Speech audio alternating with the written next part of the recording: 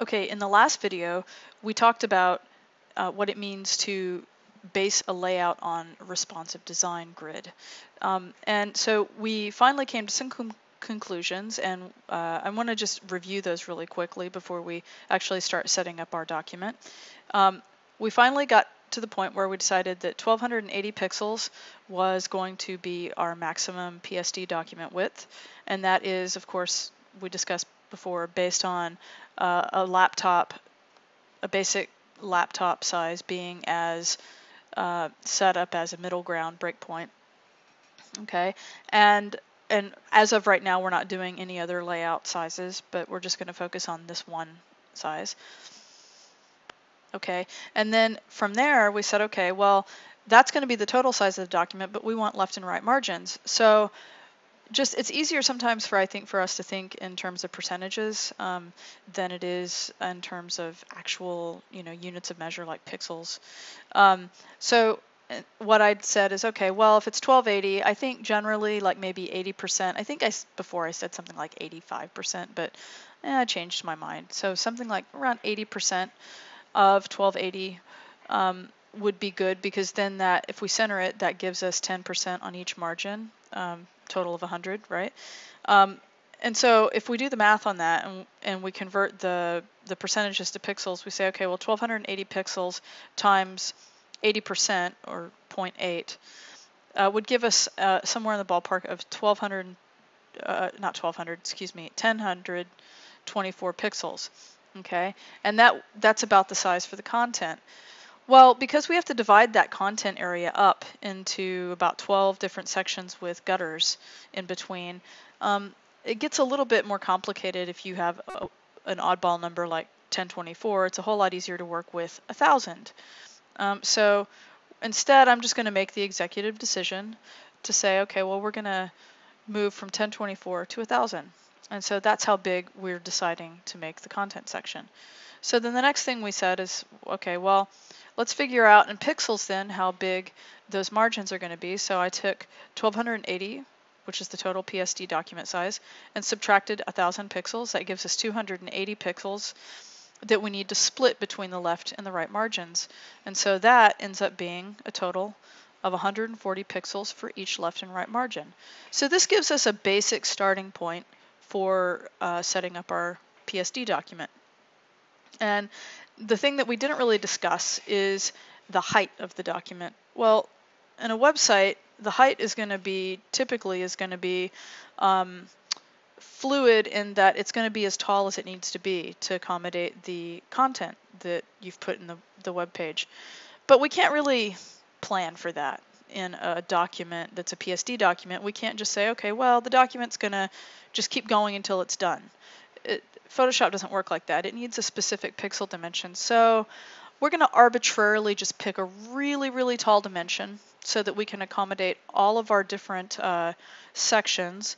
And remember, this really tall dimension wouldn't all fit on one screen in, you know, from the top to bottom and be contained like a poster, let's say, would. Instead, it's going to be something that we scroll. And if you need to sort of me to jog your memory about what I mean by that is if I this is this is the whole sort of general document that we're going to make, but you know, this isn't really the way that we would view it on a 1280 screen. This is the way that we would view it on a 1280 screen where it's scrollable, right? So the 1280 part, we're going to see the full 1280, but the idea is that just like a regular website is something that you would scroll, okay? All right, so let's go ahead and go into Photoshop and let's do a new file, okay? And one of the things that you're gonna notice right away is that I'm, uh, you might have noticed that some of the other videos said Adobe Photoshop CC 2014. Um, most of the things from this tutorial have not changed, but there are a couple of things that have. And one of the things that I am doing an update for in the middle of this video is with 2017, because the way that it looks whenever you go to create a new document, it looks different than it used to look. And so um, one of the things that you can do is it has some nice presets up here. So one of the things you can go ahead and do is click over here on web and uh, it comes with some basic standard uh, sizes. If you click on view all presets, you'll notice that we have one that's for 1280 by 800. You could choose any of these sizes, but I recommend that you sort of um, start in a smallish laptop. Um, now you could, of course, if you wanted, start even smaller for like a phone size or something, but um, but we're going to start with 1280 by 800 as a basic template size. I'm going to select this um, and you see it automatically updates my stuff over here.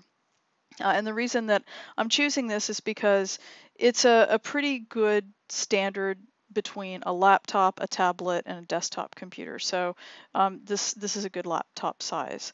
Now, if I scroll down, I want to just show you something. You'll see templates here. Do not, do not, I repeat, the third time, do not choose one of these templates.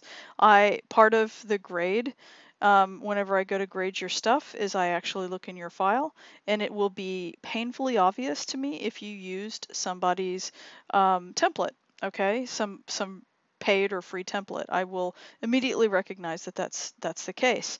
And so um, do not use that okay? That's really important. So anyway um, go ahead and start with web small and now there are a couple things. You could go ahead and, and give it a title here if you wanted.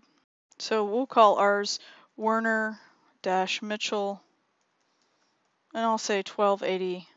So I know that it's the 1280 dash view and uh, that that's fine for the basic beginning of the title. So 1280 wide. Now the height isn't going to begin to address the length of a single long scrolling page. So just there's no way that you would necessarily know this for sure, um, but uh, one of the things that you can do is um, just change this. I'll, I'll go ahead and tell you right away that it's going to be somewhere probably in the ballpark of 3200 pixels that we might want to start. You could put some even larger outrageous number. You can always increase your canvas size later. I don't want to start with something too, too big because then it'll hog memory in the computer. Um, but this is probably somewhere in the right ballpark. Now, the other thing too is we want to keep the resolution at 72 ppi. Uh, RGB color, 8-bit is good. I'm going to leave my background as white. Um, I wouldn't choose transparent uh, it's not giving me that option anyway, but anyway, choose white. And the reason it's not giving you transparent as an option here is because it is in fact a web uh, format and web formats, uh, white just doesn't make white makes the most sense because that's the standard color that you're going to have as a background. You don't have a transparency option with web. You have to have some sort of background based color. Under advanced options, you can go ahead under don't color manage and go ahead and choose working uh, RGB or sRGB. All right, that's the standard for web and you want square pixels. Okay, and the other thing too I want to make a point of uh, showing you is that if you leave artboards selected, all right, it will create artboards. Since the original um, recording of most of this demonstration, artboards were introduced. And so in a lot of the videos, what you're going to see is something without artboards. You can always add artboards later uh, if you deselect this. If you want it to look in the video just like kind of like it's looking um, on your screen, then deselect artboards. If you want to go ahead and start with artboards, it's not going to be any kind of rocket science complicated thing, right? If you want to leave that selected. Um, and I can even show you the difference between what it looks like with and without. Um, but you will see that the rest of the demonstration after I do this does not have an artboard. If I leave artboards selected, um, one of the things that you'll note, let's just go ahead and click on create. I'm going to copy the name of this though, so that I can recreate this uh, again. I'll leave artboard selected for now. Let me just show you if I click on create, what you're gonna see in the newer versions uh, of 2017 is you're gonna see that it gives it a name here, artboard, and it also puts everything inside of uh, this artboard one.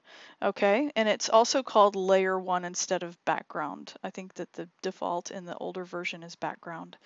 Okay, so uh, and you can name the artboard if you want. You can give it a name and you can call this 1280 view, right? So I'm just pointing out that the difference is going to be between the rest of the video instruction between this Uh, and the rest of the video instruction is that this is an artboard right here, okay, and it tells you what the artboard is.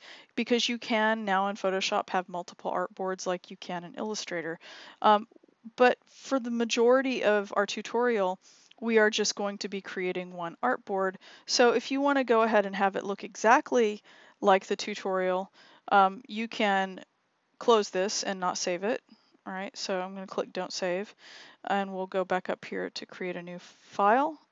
And I'll go back over here to Web, view all presets. I'll go with Web Small, which is 1280 by 800. I'll change the height back again to 3200. I'll go ahead and give it a title here. I'm going to deselect artboards this time and uh, everything else. Oh, and I will go ahead and color manage using our sRGB and I'll hit create. Okay, and this is the way that it's going to look now without artboards for the rest of the tutorial. Just so you know, I don't want you to be confused by that, but if you want to go ahead and create the artboard, that's fine too. But um, I will show you later how you can basically put all of what you create later into an artboard as well. Okay? And if I want, I can go ahead and save this file. And I'm putting it in that Warner Mitchell same folder that I put my badges, my logo badge and my logo in. And we're going to go ahead and save that. So now it's saved and anytime I want to save, I can just do my shortcut command S and it automatically save. Okay, so now we can go ahead and start setting up our guides. And the first thing I want to make sure of, and Photoshop should automatically do that, is it should register the zero pixel right here in the top left corner. So if I put my cursor, let's blow this up actually. So if I put my, um, I'm just taking the selection tool, um, and I put my cursor kind of right there, you should see this little um, uh, hairline line up in the ruler. It's it's like the crosshair line. Uh, in the rulers, you should see it um, register at zero zero on the x and y axis. If it for any reason it ever doesn't, uh, if you didn't already know this, the best way to fix that is to take this corner right here, this registration mark, and then you're going to drag it to the zero zero corner, and it'll set it for you. Okay, so I'm going to undo that, but because mine's already set properly. And, and if you do that, I would blow it up really big to make sure you're really getting it in the right spot.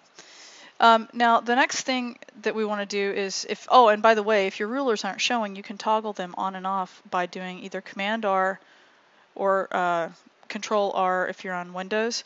And one of the things that um, you need to also make sure of is, is, that this is set up in pixels and not in inches, so you can toggle that by right-clicking in the ruler and making sure that pixels is selected.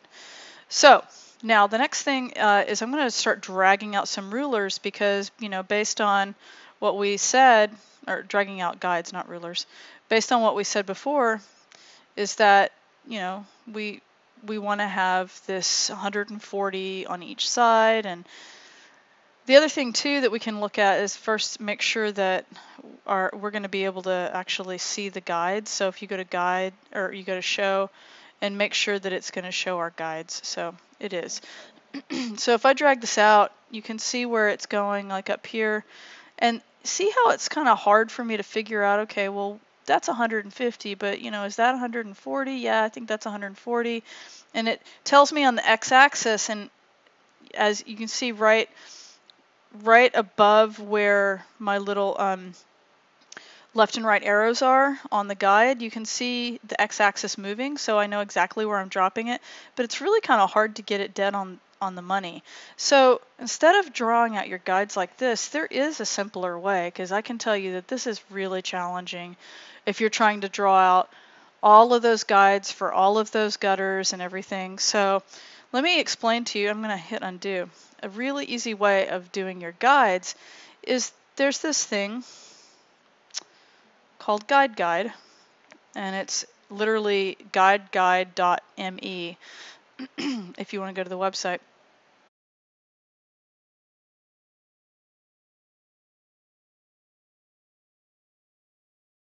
What you'll see after you install it is in your um, in your uh, panels over here, you'll see something that looks like a little grid and it's GuideGuide.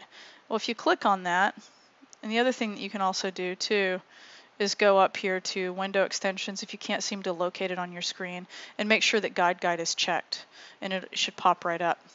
Now this is a really awesome tool because it'll help you create your grids. Okay, so let's go ahead and start with what we know. Okay, um, the first thing is we've already got, I don't have to tell it to be 1280 because the document is 1280. So the first thing is we know our, our margins. So the left margin will be 140 and you have to put the unit of measure pixel.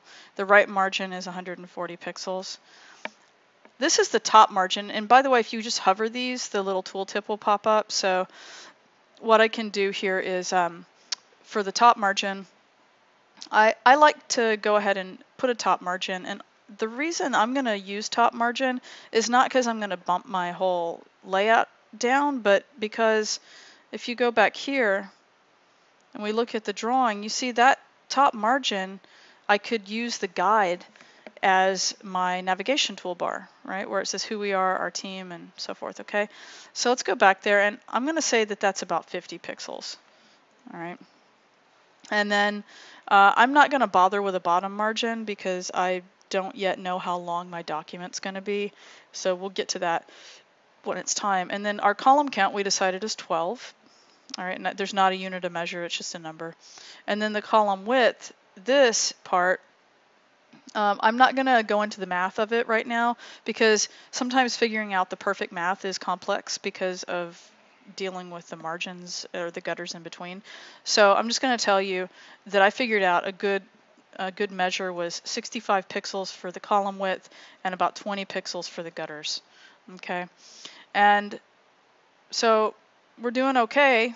And if I want to go ahead now and just make my grid, I can go ahead and click on it. And you see it automatically sets my grid up. If we go back and let's zoom out a little bit so you can see it better. And it's perfect. Like I don't know that I could have actually done something quite so perfect. All right. Um, and now I have something that I can start working with. Now, um, this helps me get my, you know, my my box up here or my first bar for the navigation up there. But there are some other sections too that I'm going to need, and I'm not going to draw my horizontal lines until I actually need them. So for right now, I'm just going to start sticking vector stuff in so that we can get a general sense of our layout. I'm going to go ahead and end this demonstration uh, for this video right here, and in the next one we're going to move on to uh, the framework creation.